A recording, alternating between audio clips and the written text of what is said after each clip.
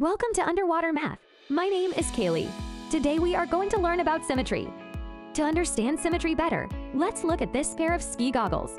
Can we divide this into two parts where one side is a mirror image of the other?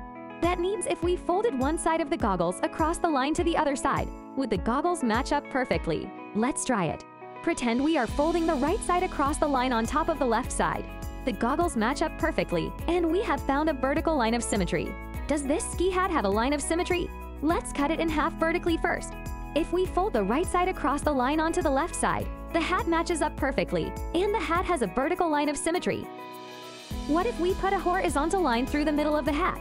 If we fold the top half across the line onto the bottom half, we can see that the hat does not line up and does not have a horizontal line of symmetry. Yay, it's snowing. I caught a snowflake for us to look at. Let's draw a horizontal line through the snowflake. If we fold the top half down to the bottom half of the snowflake, will it be symmetrical? Yes, the two halves of the snowflake will line up perfectly. What if we draw a vertical line through the middle of the snowflake?